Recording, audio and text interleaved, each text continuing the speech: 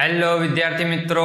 ફરી એકવાર તમારું સ્વાગત છે એજ્યુટેક ઇન્સ્ટિટ્યૂટના આ વિડિયો લેક્ચર સિરીઝમાં છોકરાઓ આજથી આપણે ભણવા જઈ રહ્યા છીએ ધોરણ નવ. ધોરણ આઠની અંદર આપણે ખૂબ જ મજાની વાતો કરી હતી. હવે ધોરણ નવની અંદર પણ બીજી મજાની વાતો કરીશું. મજાની વાત અહીંયા એ છે કે નવું કંઈક જાણવા મળશે. ધોરણ આઠની અંદર જેમ આપણે સમાજ વિદ્યાની અંદર જે પ્રમાણે આપણે કાર્યક્રમ કરતા હતા, એ જ પ્રમાણેનો કાર્યક્રમ ધોરણ નવની અંદર પણ કરવાના છીએ. જેવી વાતો આપણે જૂની કરતા હતા, એવી ફરીવાર નથી કરવાના. કંઈક નવી વાતો કરવાના છીએ અને હા, જૂની વાતોને પણ યાદો કરવાની છે. એટલે આ કાર્યક્રમ આપણે આજથી શરૂ કરી રહ્યા છીએ ધોરણ નવ, સમાજ વિદ્યા પ્રકરણ નંબર એક. બાળકો, પ્રકરણ નંબર એક આજે આપણે ભણવા જઈ રહ્યા છીએ. પ્રકરણ નંબર એકનું નામ છે ભારતમાં બ્રિટિશ સત્તાનો ઉદય. ભારતમાં બ્રિટિશ સત્તા બાળકો, અહીંયા શબ્દ વાપરેલો છે બ્રિટિશ સત્તા. બ્રિટિશ સત્તા એટલે તમને ખ્યાલ જ છે, આપણે સાદી ભાષામાં આ લોકોને ભૂરિયાઓ કહીએ છીએ. ભૂરિયાઓ, બરાબર? જેની ગોરી ગોરી ચામડી હોય છે. આ ભૂરિયાઓની વાત આજે આપણે કરવાના છીએ. એટલે બ્રિટિશ સત્તા એ ભારતમાં આવેલી અને કઈ રીતે એ લોકો અહીંયા પોતાનો એક અડ્ડો બનાવેલો એ અડ્ડા વિશે માહિતી મેળવીશું આ ભૂરિયાઓનો કાર્યક્રમ. ભૂરિયાઓ હજી પણ નથી સમજાયું, અંગ્રેજોની વાત કરવાના છીએ. અંગ્રેજો એટલે જ બ્રિટિશ સત્તા એ ભારતમાં આવેલી અને પછી ભારતની અંદર પોતાનો કાર્યક્રમ આ લોકોએ બહુ જ જમાવટથી કાર્યક્રમ કરેલો. બરાબર છે? તો આ વાતો જો જાણવી હોય, તો એની પહેલાં હું તમને થોડીક વાતો કરવાનો છું. નવી નવી વાતો, ભપમ ભપમ વાતો તમારી માટે લઈને આવ્યો છું. એટલે એ વાતો આપણે જાણી થોડીક વાત પહેલા તમને કરી દઉં. ઘણા વર્ષો પહેલા, ઘણા વર્ષો પહેલા, અરે ઘણા વર્ષો પહેલાની છોડો, આજની પણ વાત કરીએ. ઘણા વર્ષોથી અને આજ દિન સુધી ભારત એ તેના વારસાને લીધે વખણાય છે. ભારતનો વારસો એ દુનિયાભરમાં પ્રચલિત છે. એની વગર દુનિયાને નવી સંસ્કૃતિનું જ્ઞાન મળેલ નથી. જે કંઈ પણ સંસ્કૃતિ આજે નવી વિકાસ પામી છે, એ દરેક આને કારણે જ વિકાસ પામી છે. એટલે આપણે હવે વાત કરવાના છીએ ભારતના વારસાની. બાળકો, કયો ભારતનો વારસો? ભારતના ત્રણ પ્રકારના વારસાની વાત કરીએ છીએ. અહીંયા આધ્યાત્મિક વારસો સાંસ્કૃતિક વારસો અને સાથે સાથે આર્થિક વારસો. આ ત્રણ પ્રકારના વારસાને લીધે આધ્યાત્મિક એટલે ભારતનું ધર્મ, જ્ઞાન એ દુનિયાભરમાં પ્રચલિત છે. માત્ર ને માત્ર ભારતની વાત નથી થતી, ભારતના ધર્મ, જ્ઞાન દુનિયાભરની અંદર પ્રચલિત છે એની વાત કરીએ છીએ. સાંસ્કૃતિક વારસો, તમારી અને મારી રહેણી કહેણીની વાત થાય છે, તો એ સંસ્કૃતિ પણ દુનિયાભરમાં પ્રચલિત છે. અને સાથે સાથે છેલ્લો છે આર્થિક વારસો. અરે જે અહીંયા રૂપિયા હતા. અરે બોસ, જે રૂપિયા હતા ગજબ.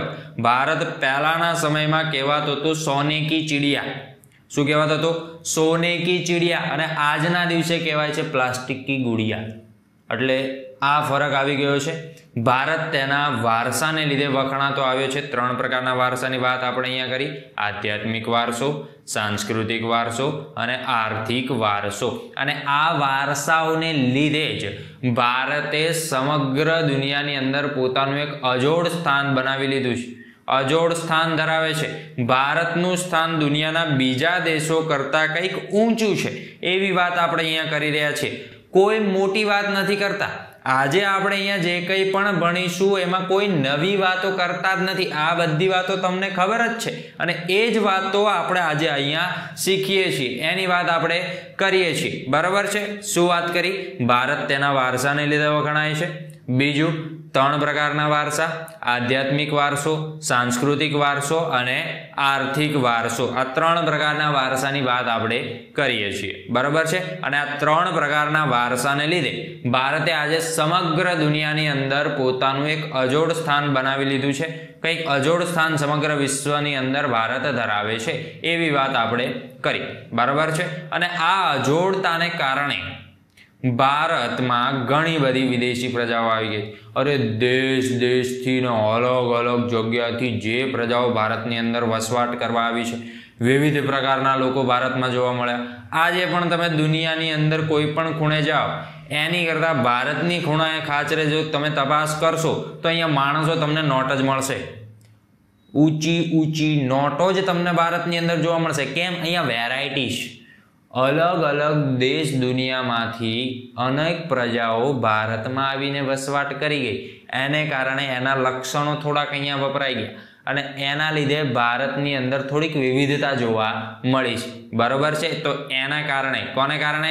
એને કારણે. એને એટલે વારસાની વાત કરીએ છીએ. વારસાને લીધે ભારતે દુનિયામાં અજોડ સ્થાન ધરાવ્યું અને ત્યારબાદ વિદેશી પ્રજાઓ ભારતમાં આવી. અને એ વિદેશી પ્રજાઓમાંથી થોડીક યુરોપિયન પ્રજાઓ ભારત આવેલી. એ યુરોપિયન પ્રજાઓની આપણે વાત કરીએ છીએ. ભારતની અમુક ચીજ વસ્તુઓની માંગ આ યુરોપિયન દેશોની અંદર રહેતી હતી. સાહેબ, કેવી કેવી માંગો હતી જરા કહો અમને. કયા પ્રકારની માંગો હતી? કઈ કઈ વસ્તુઓની માંગ હતી? બાળકો, અહીંયા ત્રણ વસ્તુઓ તમને કીધીશ મરી મસાલા અને તેજાના. પહેલું કીધું, મરી મસાલા અને તેજાના. ભારતની ચટણી, મીઠું, હળદર, આ બધું દુનિયાની અંદર પ્રખ્યાત હતું. હા, હું ગપ્પા નથી મારતો. સાહેબ, આવું કેવું? ચટણી, મીઠું, હળદર? આ આની જ વાત થાય છે. ચટણી, મીઠું, હળદર, અલગ અલગ પ્રકાર, બીજા મસાલા, ગરમ મસાલો, તેજાના લવિંગ, આ બધું જે છે એ દુનિયાના દેશો ભારતમાં લેવા આવતા હતા. એટલે યુરોપિયન દેશોમાં પણ તેની માંગ રહેતી હતી. બીજું છે મલમલ અને રેશમી કાપડ. દેખાય છે ને અહીંયા? મલમલ અને રેશમી કાપડ. આ મલમલ અને રેશ કાપડની માંગ પણ યુરોપિયન દેશોમાં રહેતી હતી છેલ્લું છે ગળી. ખ્યાલ છે? ગળી. વાદળી વાદળી કલરનું કલર આવે. બરાબર છે? એ વાદળી કલરનું કલર એને કહેવાય ગળી. એ ગળી પણ યુરોપિયન દેશો અહીંયા લેવા આવતા હતા. એટલે આ ત્રણ વસ્તુઓની માંગ યુરોપિયન દેશોમાં રહેતી. એમ કહી શકીએ કે યુરોપિયન દેશોને આ વસ્તુઓ વગર ચાલતું જ નહોતું. આની વગર ચાલે જ નહીં. જો ભાગ્યે જ કંઈક નવું બની જાય, ભારતનો વ્યવહાર બંધ થઈ જાય, તો કાર્યક્રમ પૂરો. યુરોપિયન દેશો શાકની અંદર આ મસાલા ના નાખી શકે. એવો કાર્યક્રમ યુરોપિયન દેશોની અંદર હતો. એટલે આ યુરોપિયન દેશો આ ત્રણ વસ્તુ, કઈ કઈ? જુઓ જરા. મરી મસાલા, તેજાના, મલમન અને રેશમી કાપડ અને ગળી. જો આટલી વસ્તુઓ ભારત લેવા ના આવે, એટલે કાર્યક્રમ એ લોકોનો પૂરો. એટલે આ ત્રણ વસ્તુની માંગ યુરોપિયન દેશોની અંદર રહેતી હતી. પણ સાહેબ આ લોકો લઈ કઈ રીતે જતા હતા? ભારત યુરોપથી છેક લેવા આવે કઈ રીતે લઈ જતા હતા? તો બાળકો જો અહીંયા નકશામાં સમજાવું તમે જો છોકરા આ છે આપણું ભારત. કોણ છે? ભારત. દેખાય છે? આ ભારત. ભારત છે અને આ છે આપણું યુરોપ. બરાબર? આ યુરોપ. યુરોપથી ભારત આવવાનો આ લોકો પાસે આ પ્રકારે કંઈક જમીન માર્ગ હતો. પહેલાં આ લોકો જમીન માર્ગે આ બધી ચીજ વસ્તુઓ લેવા ભારત આવતા હતા. આ જમીન માર્ગ અને આ જમીન માર્ગમાં એક આ જગ્યાએ, આ પિન મારીને જે, પિન મારીને હમણાં, એ પિનવાળી જગ્યાએ એક શહેર આવતું. દેશ આવતો, તુર્કસ્તાન ને તુર્કસ્તાનની રાજધાની કોન્સ્ટેન્ટિનોપલ. નામ એનું ઇસ્તંબુલ શું નામ છે? ઇસ્તંબુલ, નહીં છોકરા નહીં એ રીતે નહીં, ઇસ્તંબુલ. એ ઇસ્તંબુલ નામની જગ્યાએ એક વખત તુર્કી મુસ્લિમોએ ઈસવીસન ચૌદસો ને ત્રેપનની અંદર હુમલો કર્યો. અને જે આ તુર્કસ્તાનનું ઇસ્તંબુલ શહેર હતું, એ જગ્યાએ પોતે વિજય પ્રાપ્ત કરી લીધો. એટલે એને કારણે આ જે જમીન માર્ગ હતો જ્યાંથી યુરોપિયન પ્રજા ભારત આવતી હતી. આ બધી ચીજ વસ્તુઓ ખરીદવા માટે આ રસ્તો બંધ થઈ ગયો. હવે બહુ દુઃખ થયું. યુરોપિયન દેશો હવે ભારત પાસેથી આ ચીજ વસ્તુઓ ખરીદી શકશે નહીં. ભારત આવવાનો આ લોકોનો જમીન માર્ગ બંધ થઈ ગયો. પણ સૌથી મોટું દુઃખ તો એ થયું કે યુરોપિયન પ્રજાને આ બધી ચીજ વસ્તુઓ વગર ચાલે તેમ હતું નહીં. કોઈ પણ રીતે આ લોકોએ યુરોપથી ભારત આવવું જ પડે અને આ ચીજ વસ્તુઓ લેવી જ પડે, ખરીદવી જ પડે. બોલો, આટલું બધું ફેમસ હતું ભારત. આપણું ભારત એ સમયે દેશ દુનિયાની અંદર જાણીતું હતું અને આટલી બધી માંગ ભારતની દુનિયાની અંદર હતી. એટલે આ બધો કાર્યક્રમ એ સમયની અંદર હતો. પરંતુ અહીંયા યુરોપિયન દેશો ઉપર એક સૌથી મોટો સવાલ ઊભો થયો કે ભારત આવવું કઈ રીતે? એકમાત્ર જમીન માર્ગ હતો જે તુર્ક મુસ્લિમોને કારણે બંધ થઈ ગયો. તો હવે શું કરી શકાય? સાહેબ, હવે એક જ રસ્તો વધ્યો છે. જો જમીન માર્ગે ના આવી શકાય, તો હવે જળ માર્ગે આવવું પડે. જળ માર્ગે આવવું પડે, હા, બાળકો? એટલે જ આ ચીજ વસ્તુઓ ખરીદવા માટે યુરોપિયન પ્રજાને નવો જળમાર્ગ શોધવાની ફરજ પડી. જ્યાં સુધી નવો જળમાર્ગ નહીં શોધાય, ત્યાં સુધી યુરોપિયન દેશોએ આ પ્રકારે ભારતની ચીજ વસ્તુઓ વગર જીવવું પડશે. આવો કાર્યક્રમ થઈ ગયો. એટલે અહીંયા સુધી જે કંઈ પણ આપણે સમજ્યા, એમાંથી પરીક્ષામાં પ્રશ્ન પૂછાઈ શકે. આજથી જ તૈયારી ચાલુ. પહેલો લેક્ચર પહેલો પ્રશ્ન અને પહેલી જ તૈયારી આપણી કંઈક એવી હોવી જોઈએ. પ્રશ્ન તમને કંઈક એવો પૂછે કે યુરોપિયન પ્રજાને ભારત આવવાનો નવો જળમાર્ગ શોધવાની ફરજ શા માટે પડી? બરાબર છે? આવું કારણ પણ પૂછાઈ શકે. એટલે આ પ્રશ્નનો જવાબ આપણે કંઈક આ રીતે આપવાનો છે. એટલે અત્યારે કામ કરો, વીડિયો પોઝ કરો બેક જાઓ અને પછી બધું લખવાનું ચાલુ કરો. બરાબર છે? લખી નાખ્યું? લખી નાખ્યું સાહેબ, લખી નાખ્યું. ખોટું ના બોલો. ખોટું નહીં બોલવાનું. કોઈએ વીડિયો પોઝ કર્યો નથી ને કોઈએ લખ્યું નથી. અત્યારે જ વીડિયો પોઝ કરો, પાછળ વીડિયો રિવાઇન્ડ કરો અને લખો. પછી આપણે આગળ વધીએ છીએ. લખી નાખો. સામું ના જુઓ. હજી સામું જુઓ છે. નહીં, સામું નહીં જુઓ. અત્યારે લખવાનું કામ કરો. ફટાફટ, જલ્દી. ઓકે સાહેબ, લખાઈ ગયું છે. લખાઈ ગયું છે, આપણે આગળ વધીએ. તો અત્યાર સુધી આપણને એવું સમજાયું કે નવો જળમાર્ગ શોધવો પડશે, એના વગર ચાલશે નહીં. તો હવે નવો જળમાર્ગ શોધવા માટે બધા મંડી પડ્યા. એમાંથી પહેલો માણસ હતો પોર્ટુગલનો રાજા પ્રિન્સ હેનરી. આ પ્રિન્સ હેનરીની મદદથી કંઈક નવું અભિયાન ચાલુ થયું. પ્રિન્સ હેનરીએ ત્રણ પ્રકારે મદદ કરી. પહેલું પ્રેરણા આપી કે નવો જળમાર્ગ શોધો. બીજું પ્રોત્સાહન આપ્યું કે નવો જળમાર્ગ શોધો. ત્રીજું, આર્થિક મદદ કરી. કે નવો જળમાર્ગ શોધો. ત્રણ ત્રણ વખત મદદ કરવામાં આવી, પ્રેરણા આપવામાં આવી, પ્રોત્સાહન આપવામાં આવ્યું. આર્થિક મદદ, રૂપિયા પણ આપવામાં આવ્યા. અને પ્રિન્સ હેનરીએ એક અભિયાન ચાલુ કર્યું કે ભારત જવાનો નવો જળમાર્ગ શોધો. અને એને કારણે દેશ દુનિયાની અંદરથી યુરોપના દેશોએ નવો નવો કંઈક સાધન સામગ્રી લાવીને નવો જળમાર્ગ શોધવાના પ્રયાસો ચાલુ કર્યા. અને એના જ કારણે એમાંથી એક હતો, જેનું નામ બાર્થોલોમ્યુ ડાયસ એણે કેપ ઓફ ગુડ હોપ ભૂસીરની શોધ કરી.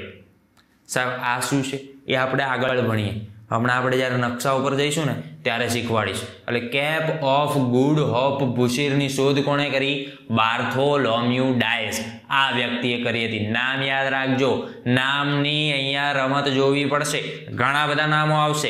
અત્યાર સુધી કોઈ નામો નતા આવ્યા. અત્યારે બે નામ આપણી સામે પડી ગયા. પોર્ટુગલનો રાજા પ્રિન્સ હેનરી અને બીજો આવ્યો બાર્થોલોમ્યુ ડાયસ. અને એણે શેની શોધ કરી હતી. કેપ ઓફ ગુડ હોપ ભૂશીરની શોધ કરી હતી. બરાબર છે? ઓકે. હવે આમાં જ પ્રયાસો આગળ વધ્યા અને એમાંથી એક માણસ, નામ એનું ક્રિસ્ટોફર કોલમ્બસ શું નામ છે? ક્રિસ્ટોફર કોલમ્બસ આ ક્રિસ્ટોફર કોલમ્બસ નામના નાવિકે સ્પેનના રાજાની મદદ લીધી. સ્પેનના રાજાની મદદ લીધી અને ઈસવીસન ચૌદસો બાણુંમાં આ ભાઈએ દરિયાની અંદર પોતાનું વહાણ મૂક્યું. વહાણ મૂકીને શોધવા જઈ રહ્યા હતા, ભાઈ, ભારત જવાનો નવો જળમાર્ગ. ચૌદસો બાણુંમાં આ યાત્રા વૈયે પ્રારંભ કરી હતી, જે વેસ્ટ ઇન્ડિઝના ટાપુઓએ જઈને પૂરી થઈ ગઈ. હે સાહેબ આવવાનું હતું ભારત જતો રહ્યો વેસ્ટ ઇન્ડિઝ કઈ રીતે? તો એ જ આપણે સમજવાનું છે. જુઓ અહીંયા, આ જે ભારતનો નકશો, નહીં, દુનિયાનો નકશો. દુનિયાના નકશામાં ભારત ક્યાં છે? અહીંયા છે. પોર્ટુગલ ક્યાં છે? અહીંયા છે. અને હમણાં આપણે વાત કરી, પેલું, બાર્થોલોમ્યુ ડાયસ એ બાર્થોલોમ્યુ ડાયસે કેપ ઓફ ગુડ હોપ ભૂસીરની શોધ કરી હતી. એટલે કેપ ઓફ ગુડ હોપ અહીંયા આવ્યું. એટલે રસ્તો કંઈક આ રીતે શોધવાનો હતો કે પોર્ટુગલથી કેપ ઓફ ગુડ હોપ ભૂશીર થઈને આ રીતે ભારત જવાય. આ રીતે દરિયામાં પોતાનું વહાણ ચલાવવાનું હતું, પણ નહીં. ડખો થઈ ગયો. વહાણ થઈ ગયું, ઊંધી બાજુ અને જતા રહ્યા ભાઈ અહીંયા. વેસ્ટ ઇન્ડિઝના ટાપુએ. સાહેબ, આ અમેરિકા લખાઈને આવ્યો. આની સ્ટોરી શું છે? એટલે પહેલી વાત તો એટલું યાદ રાખો. ભાઈ ઊંધા ભરૈયા ક્રિસ્ટોફર કોલમ્બસ આવવાનું હતું ભારત. જતા રહ્યા ક્યાં? અમેરિકા. સાહેબ, અમેરિકા કઈ રીતે? ભાઈ, જ્યારે ક્રિસ્ટોફર કોલમ્બસે વહાણ મૂક્યું, ત્યારે એમની સાથે એક ખલાસી હતો. અમેરિગો વેસ્પુચી. આ અમેરિગો વેસ્પુચીની મદદથી આ ભાઈ ભારત આવવા માગતા હતા. પરંતુ આ અમેરિગો વેસ્પુચીએ કોલમ્બસને લઈ ગયા ક્યાં? આ જગ્યાએ. શોધવાનું હતું ભારત. શોધી કંઈક નવું નાખ્યું. એક નવો જ પ્રદેશ કંઈક શોધી નાખ્યો. અને આ પ્રદેશની સ્પષ્ટતા કરી હતી અમેરિગો વેસ્પુચીએ. એટલે અમેરિગો વેસ્પુચીના અમેરિગો નામ ઉપરથી આ પ્રદેશનું નામ પડ્યું અમેરિકા. ખબર પડી ગઈ? ખબર પડી ગઈ. આ સાહેબ, ખબર પડી ગઈ. ક્રિસ્ટોફર કોલમ્બસ ક્યાં આવતો હતો? ભારત આવતો હતો. આવવાનું હતું ભારત. પહોંચી ગયો ક્યાં? અમેરિકા. ખબર પડી ગઈ? એટલે આ રીતની સ્ટોરી બની. ક્રિસ્ટોફર કોલમ્બસનો મજાક બની ગયો અને ભારત આવી શક્યો નહીં. તો સાહેબ, શું થયું? ભારત આવવાના નવા જળમાર્ગ શોધવા માટે આ લોકોએ જે રૂપિયા બગાડ્યા એનું શું થયું? ના બાળકો રૂપિયા આ લોકોના નિષ્ફળ ગયા નથી, ખોટા ખર્ચાયા નથી.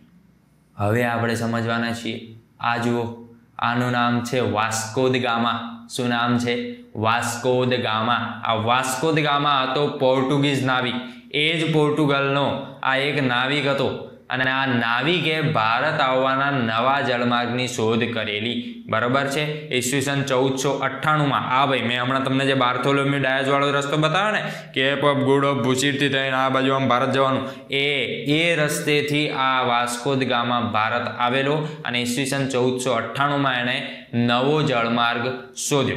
બરાબર છે? અને પછી આ ભાઈ ઈસવીસન ચૌદસો અઠ્ઠાણુંમાં જ્યારે ભારત આવ્યો, ત્યારે એણે સર્વપ્રથમ ભારતના પશ્ચિમ કિનારે કાલિકટ બંદરે પહોંચ્યો. કાલિકટ બંદર, ખ્યાલ આવે છે? કાલિકટ બંદરે પશ્ચિમ કિનારે ભારત આવ્યો અને અહીંયા એ મળ્યો સામુદ્રિક રાજાને. કયા રાજાને? સામુદ્રિક રાજાને. સવા કોણ હતું? સામુદ્રિક રાજા કોણ હતો? અને હવે જો નવો જળમાર્ગ શોધાઈ ગયો, તો હવે શું થશે? હવે શું યુરોપિયન પ્રજાઓ આ નવા જળમાર્ગની મદદથી ભારત આવશે? અને ભારત આવીને વેપાર ધંધો કરશે અને જે કંઈ પણ વસ્તુ એ લોકોની ખૂટતી હતી, જે લોકોની માંગ હતી, એ લઈ જશે? તો બધા જ પ્રશ્નોનો જવાબ આપણે આવતા અંકે આપીશું. આ અંકની અંદર આપણે આટલું જ રાખીએ છીએ. વધારે ભણવું નથી. ખાટલી આટલું જ ભણી દીધા છે. બરાબર છે? હમણાં જે મેં તમને સમજાવ્યું, નકશો બતાવીને કેપ ઓફ ગુડ ઓફ બુશીર, રાજા Prince Henry, Bartholomew Dias, Christopher Columbus Amerigo Vespucci અને આ ભાઈ વાસ્કોદ ગામા. આ બધા વિશે વીડિયો પોઝ કરો, લખી નાખો, જેથી કરીને આવડે. આવતા અંકની અંદર જ્યારે આપણે વીડિયો જોઈશું, ત્યારે પહેલાં આનું રિવિઝન કરી લેજો, એટલે વધારે મજા આવે. એવું હોય તો ફરી એકવાર વીડિયો પણ જોઈ લેજો, એટલે ઓર મજા આવે. બરાબર છે? ત્યાં સુધી હું તમને કહું છું tata bye bye see you